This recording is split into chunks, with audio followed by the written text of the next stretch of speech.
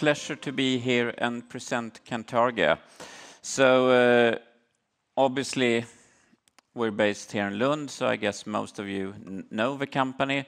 But for those of you who doesn't know so much about it, we are an antibody company. Uh, we are focusing on making antibodies against one molecular target called IL1RAP. And uh, it's one of those targets that the more you start to learn about it, the more you realize that there is so many opportunities here, and we're just scratching the surface at this point in time. But uh, we have two different antibodies in the clinical development right now. So we have nadunolimab, which is being designed for cancer therapy, and we have, let's say, the much more easier to pronounce name, CAN10, uh, in development for autoimmunity inflammation. Uh, the cancer program is the one that I think most of you knows about, and we have treated more than 300 patients right now, and it looks really promising, and we are advancing this program into late-stage development. Uh, Currently, we have one clinical trial ongoing in triple-negative breast cancer, which is a randomized trial. We have promising data in pancreatic cancer, non-small cell lung cancer, and we'll come back to that. And uh, we also have a smaller trial in leukemia starting up uh, in the near future, uh, a trial which is fully sponsored by the U.S. Department of Defense. In autoimmunity inflammation, it is a really hot area right now, and uh, I will show you a little bit on why we believe that our drug is extremely well-positioned in this uh, area. Uh, the phase I is ongoing right now, and everything looks good. So then, quickly looking at the pipeline then. So nadunolimab in phase II, data in a number of cancer indications, and triple-negative breast cancer ongoing, and CAN10 being developed in difficult-to-pronounce diseases like hidradenitis suppurativa. And I know, uh, Jonas is going to test you afterwards at the after-work session.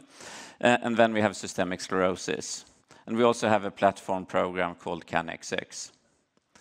Uh, so since most of you may not be so familiar with the CAN10 program, and it is a program which has been flying a little bit under the radar, but it's creating lots of interest in the community, so I'm starting with it.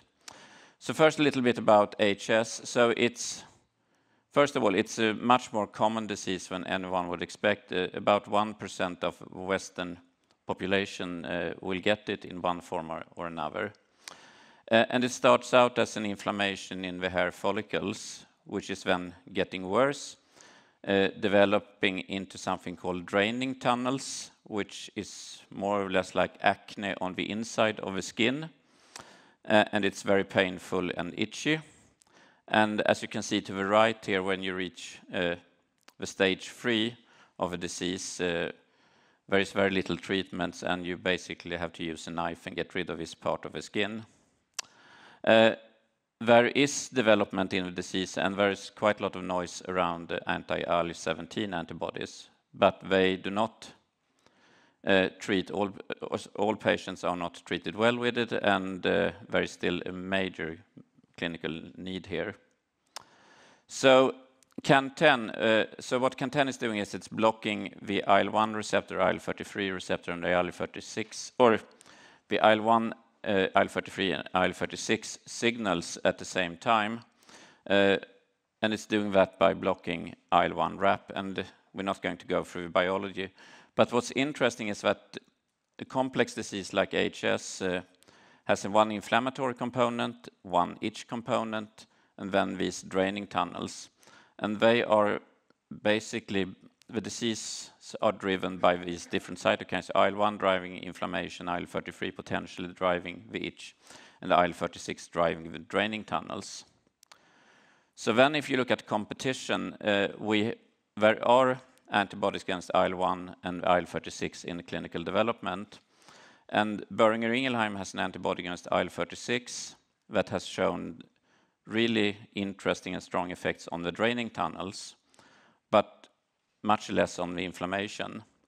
While the AbbVie antibody, which is targeting the IL-1 system, shows a really good effect on the inflammatory part, but more modest effects on the draining tunnels. So since you have a good memory from last slide, you can see that CAN10 is doing both of these things at the same time. So we really believe that we have something which is very competitive in this field, uh, and obviously better than the AbbVie and Uh, Boehringer Ingelheim antibodies. So but where we are right now is that we're preparing for a phase two trial, which is starting next year, but we still have to do some work in the phase I. Uh, but in the phase one, so what we have seen is that we have finalized the single dosing and communicated results, so the safety is excellent of the CAN10 antibody. Uh, but we also see that the antibody is binding to two types of immune cells called monocytes and neutrophils, and they are the cells that are driving a disease like hidradenitis suppurativa. And uh, what we also done, which you can see to the right, is that we have taken out blood from these healthy volunteers and uh, stimulated with IL-36, and what we see is that we basically turn off the response. Uh, so so these cells can no longer respond to to IL-36, which is then driving the disease. So we believe that we have a pretty good package here to go into phase two, which is creating excitement. So that's CAN10. So then going into cancer. So now we're switching uh, direction. So IL-1RAP is overexpressed on cancer cells, and it's overexpressed on immune cells in the tumor microenvironment. And we treated about 73 patients, or we treated 73 patients with pancreatic cancer, uh, who were newly diagnosed and metastatic. And we see that we get pretty good results uh, when we combine with chemotherapy here. But what's making it even more exciting is that we've been looking at patients that have high levels of IL-1RAP in the tumor and lower levels, and we can see that it is really the patients with the higher levels that are driving the efficacy signal. So they have a survival of 14.2 months, which is, I would say, five or six months better than you would expect from chemotherapy here. Uh, and also they have really pronounced and durable responses. And high IL-1RAP uh, is associated with worse prognosis. So we are super excited about this program, are now redesigning the upcoming phase II or phase III trial, which are currently being discussed or are going to be discussed with the FDA, to include a diagnostic kit here and really select the true responders. So thereby de-risking the program quite a lot and making the next trial much, more cost efficient. Uh, we also seen another exciting effect. So neuropathy is a very serious side effect of lots of chemotherapies. And but neuropathy is also driven by the IL-1RAP and IL-1 uh, signals, and since we have an antibody which is blocking that, we can actually see that the patients are having much less neuropathy in these trials as well. So in a way, we are, let's say, combining increased efficacy with the actual removal of some of the side effects. So that makes us very excited and makes lots of clinicians very excited, because this is a major problem for clinicians. And finally, in lung cancer, so this is a messy slide, I know that, but the key point is that uh, we treated about 40 patients. It's a quite mixed group of patients, but we can see that there is a subgroup here uh, building up, which is what's called the non-squamous second-line patients, where we have 90% response rate. They have a survival of about 26 months. This is so much better than these patients can uh, expect. And uh, why do we, this type of patient gets such a good response? It is because they have been treated with immune therapy before, and we see that the immune therapy is really modifying the tumor microenvironment in a positive way with upregulation of IL-1RAP. So again, a very exciting result to take forward. So I would like to finish off here by showing the upcoming milestones. So in pancreatic cancer, we are planning and preparing for an upcoming trial starting H2 next year, which will be very much based on a diagnostic kit being included to make sure that we get exactly the right patients into the trial. Uh, we have a randomized trial in triple-negative breast cancer reading out during H1 uh, this year. Again, a major value inflection point for a company. We have an upcoming leukemia study starting uh, later on this year, hopefully with the first patient in. And the CAN10 program, uh, so I presented all the single dosing, uh, but we're now doing the multiple dosing. We're doing that in patients with psoriasis, and we will start to communicate results during first half next year. So by that, I'd like to thank you for your attention and very happy to take some questions. Tell us about the commercial benefit of combining your candidate with ADC therapies. So that sounds like cancer.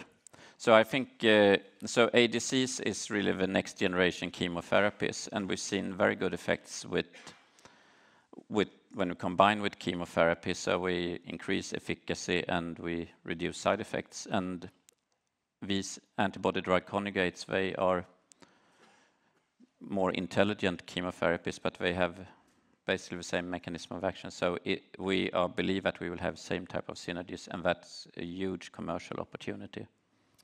So the next question starts with a help.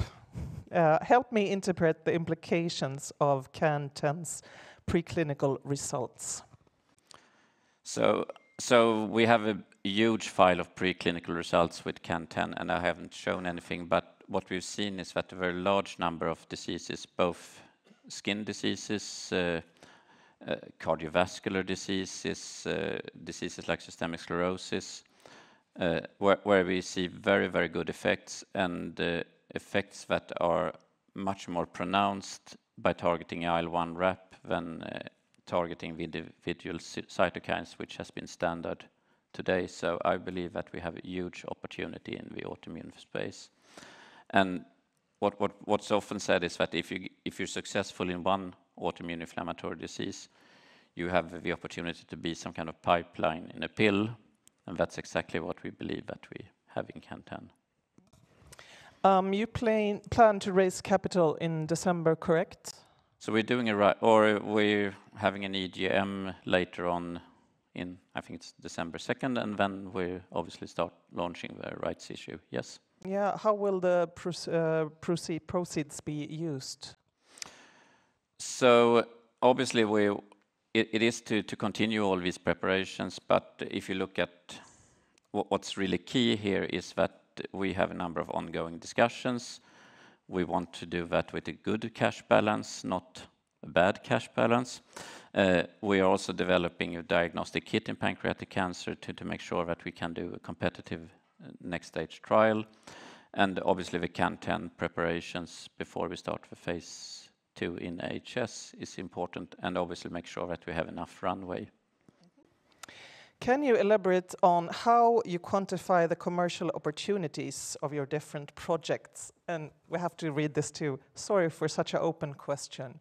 No, don't be sorry. Those are the best questions. Yeah. I don't know who you are, but you're doing it right. Now you get- No, so so so let's start with pancreatic cancer. There There is very little novel drugs. Uh, there are only in the U.S. about 70,000 patients being diagnosed each year.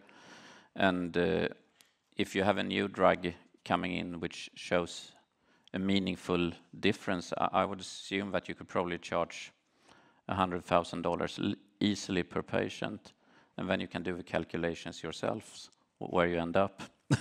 Eh, and if you go for CAN10, it because there is progress in the IL-17s, and I think the market opportunity which has been talked about for IL-17s is somewhere between $5 billion-$15 billion. So the upside are enormous or is enormous in these two programs.